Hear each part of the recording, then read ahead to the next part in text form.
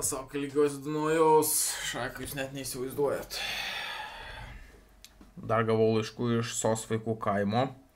Labdiena, Aurimai, esu SOS vaikų kaimo Lietuvoje komunikacijos specialistė. Malonu supažinti.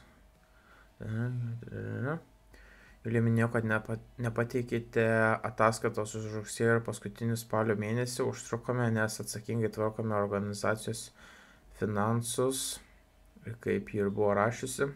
Abiejų mėnesių sumas 1230 ir 1140 skiriame didelėms vaikų poreikiams, jiems reikalingų specialistų konsultacijoms. 47 terapijos naujiems vaikams. Jūsų dėka galėsime padėti naujiems vaikams, kurie nesiniai pateko į mūsų sos vaikų kaimą. Šie vaikai dėja, bet nebegalėjo toliau gyventi su savo biologiniais tėvais, nes buvo skriaudžiami tiek psichologiškai, tiek fiziškai kiekvienam naujam atėjusiam vaikui pakeisti, pakeisti gyvenamą vietą, pritaikyti prie naujos aplinkos, sumažinti, susipažins nuo, su naujosios vaikų šeima. Ten viena istorija, kuri prašo mane viešinti, tik tais man parašyta. O bendrai ačiū už jūsų nepaprastą indėlį. Ačiū Jums. Esame nepaprastai laimingi, kad tapome jūsų ypatingos istorijos dalimi. Ačiū, kad padedate kurti laimingų vaikų vaikystę, ačiū, kad neliekate abejingas silpniesiems, ačiū, kad garsinate Lietuvos vardą. Ir dar gavau laišką dėl susitikimo, bet jaučiu reikės gal derintis po karantino, nežinau, kad visgi saugiau būtų. Tai va, žodžiu, tai va, atsidėkoja man sos vaikų kaimas, žiauriai smagu, žiauriai smagu, kad jūs tai prisidėjote pagalvojau, aš labai norėjau šitos laiškas jums paskaityti, nes tenais jau apie mėnesį laiko gulėjo tas laiškelis, bet aš vis jo nespėdavau atsidaryti. Ar tai darbai užpuldavo, tai pagalvojau, reikia va šiandien. Jo, 7000 surinkta vaikam, tai žiauri super. Nežinau, ar su kita kelionė reikės daryti kažkokią akciją. Vis tiek planuoju kaip ir, kaip ir vasario mėnesį jau traukt kudašių, dar tiksliai nežinau kur, bet va jau gruodį turės truputį laiko, jau laisvesnio laiko, jau nebus jokių susitikimų per Zoom programėlę, ten tų web, web susiskambinimų ir panašiai. Tai jau gruodį, manau, daugiau dėliosios planus, laikus ir, ir panašius dalykus, tai reikės spręsti, kaip čia ką daryti. Ir ar reikės organizuoti dar kažkokį projektą. Mes dar kaip tik šiandien su lasų mokiniai išnekėjom, tai per, per Zoomą susiskambinom, buvo apie 130 mokinių, klausė manęs, wow, šeštokai, septintokai, tai pasako apie keliones, apie Afriką, Nemuną, Dunojų, žodžiu, visas keliones apžvelgiam, motivaciją. nu, bet sakau, visą laiką motivacija didžiausia ta, kai darai tai, kas patinka. Jeigu darai, kas nepatinka, tai tos motivacijos ir neišgimdysi.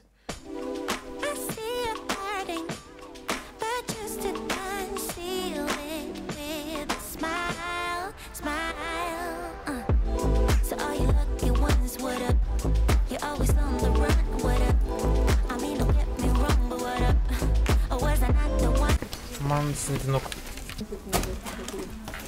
Ačiū. Gerai.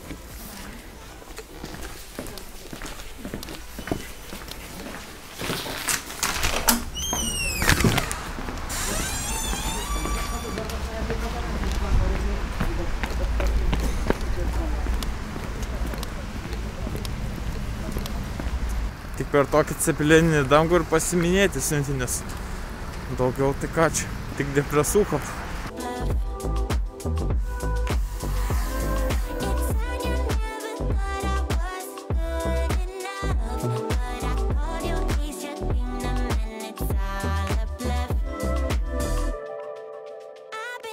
again.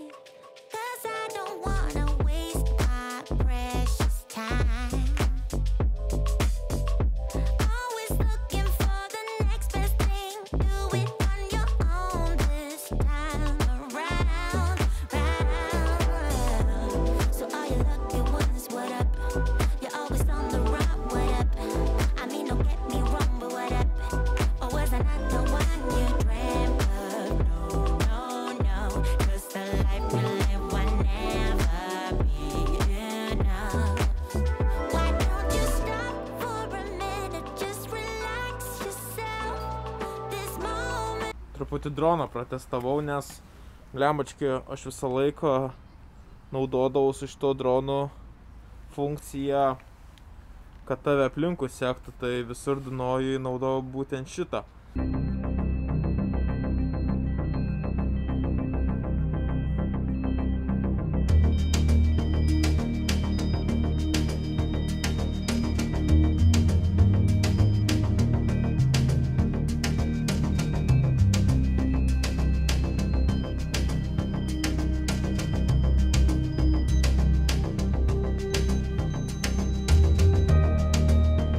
Dar buvo active tracking ir dar kažkoksai. Bet tas active tracking niekad nebuvo toks, e, aš niekad atrodydavo, kad yra tas active, kur tave seka ir kitas yra parallel ar kažkas tokio, ar spot, kur tipo tave dronas tik tais pasisuka kampu paskui tave, bet jisai neskrenda.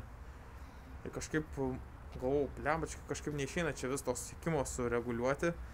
Tai visą laiką mano sėkimas būdavo kartu su skridimu aplinkui. Tai šitą labai lengva kontroliuoti. O tą active tracking, kad kažkokiu rakursu tave sektų, kažkaip nesureguliuodavau. Tai dabar, dabar pavyko. Pas, vadinasi, nepaspaudžiau užmėti savęs ir spaust go. Dabar bus gerai. Bet vis tiek tas sekimas, kai tave aplink tave skraido su dronu, tai yra epic. Pats geriausias dalykas. Nu, gražiausiai žiūris. Kas gerai, kad gali reguliuoti taip pat ir greitį. Lėčiau, greičiau. Bet bloga yra. Bet blogai yra tai, kad kai tą paspaudi, e, dronas nustoja reaguoti į bet kokius kliuvinius. Tai jeigu va taip tarp medžių šiandien paleisčiau, tai jis greitai bum į medį. Ir babam, nėra dronelių. Tai tai va sakė Jurgis sukūlė savo droną. Nuo Andriaus iš Vilniaus.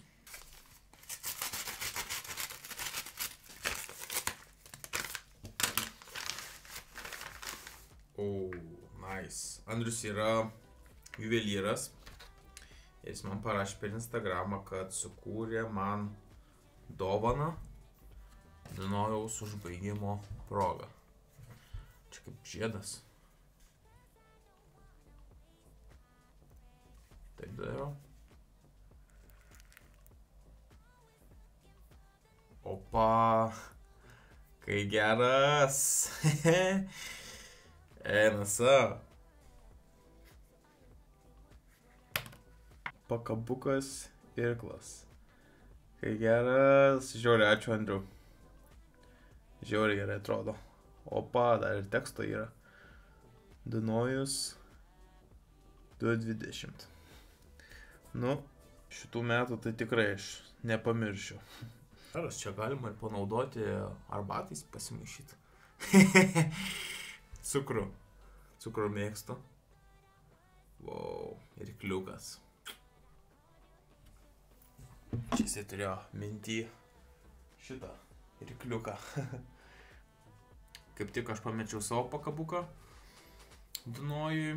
Jo, netyčia. Turbūt kažkur palikau. Jau plius minus įsivaizduoju, kurioje stovyklavietį palikau. Jeigu dabar grįšiu į tą vietą, jaučiu dar raščiau. Nu, jeigu nebuvo potvinio. Ten, bet šiaip aš ten gan aukštokai buvo, tai jaučiu raščiau tą, tą pakabuką. Bet, va, dabar mūsų atsiminimas. Ačiū. Pabaigiau vlogelį montuoti. Galvoju, reikia draugelį aplankyti. Padariau kapučino. Reikia užsukti pas Renaldą, pažiūrėti, kaip jam sekasi su remontais. Kažką dar pagelbėsiu. Palasdavosi, aš kaip mėgstu. Lembački. Nežinau kodo. Nepavyks taigmenos padaryti.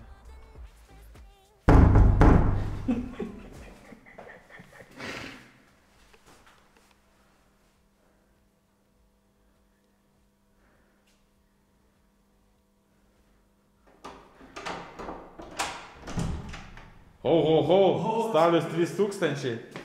Привет. Galvoju, tu, ne tu. Ai, galvoju, kaiminėlis, ne? Galvoju, žinoma, gal kaiminėlis dar kažką.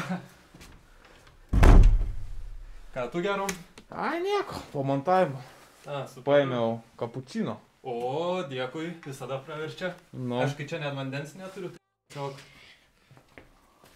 sveiki neblogai. atvykę į remontą. Jo, jo.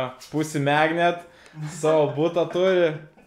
Čia kas dabar tokių metų turi savo būtus? Vienetai. Nu jo. Tai ką, dabar čia nais tau beliko gipso sukta, ne? Jo, dvigubas gipsas eis ten. Mm. Tada realiai. Nu, gražiau negu kai buvau paskutinį kartą. Jo, jo, tai čia dar dėsis vienas sluoksnis gipsas, žinai, vertikaliai. Tada visur profiliuosis dėsis lubos, nes vedžiojasi nauja elektros instaliacija. Mm. Ventiliacija, taip toliau. Profiliuosis sienos ir plytelės.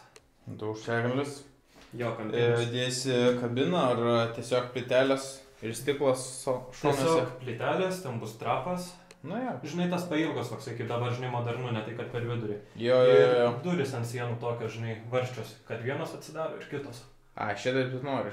Jo, nes labai mažai vietos, blemba, žinai, kai būtas, tai stengiasi spausti kiekvieną centimetrą išnaudoti. Jo, jo. Jo, užkautė. Ne, iš ko dar neragavau. Gal užnuodyta. Čia šitam kambarį jovalas, dar sandėliukas. Mhm. Jų siena nutilinta nuo kaimynų. Jau gali. Dubasint. Jo, jo, nežinai, klausos, jau užsipridėjęs prie rezetės, tai blemba. Jo? Tai, jo, ne? tiek, žinai, norisi privatumo, blemba, gyveni, žinai, Man namuose. nesveikas kaimynas. Jo, nieko, kažkaip.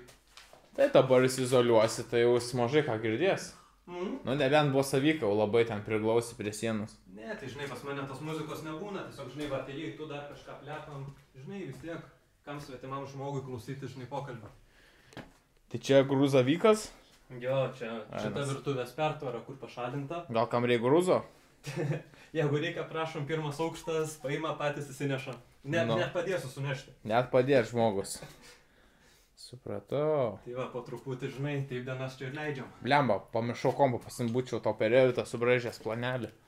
Na, tai galėsim taip kada susiriekti. Va, dar irgi lubos leisis, vis tiek, žinai, ten ledai dėsis palį užuolaidas, čia ledai, nu toksai jau kai savo daraisi žmogus, prisigalvoji. Nu jo, čia. Už tai po lubom visada bus originalus akcentas, žinai, sovietinis.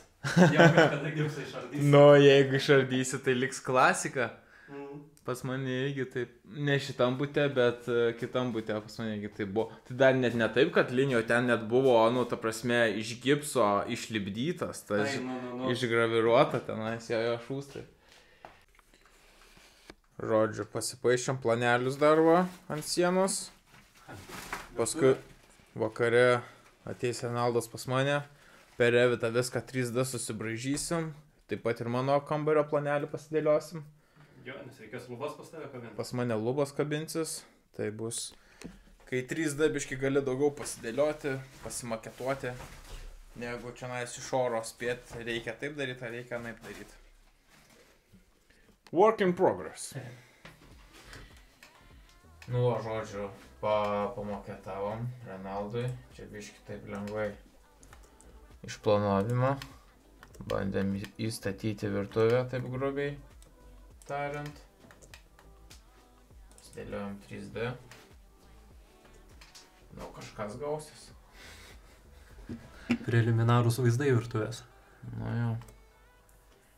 Galėsim akliuot. Kažkaip tilpsim. Tirs. Architektų įgūdžiai panaudoti. Mokslai nenuėjo veltui. Tai čia basics. Back to basics.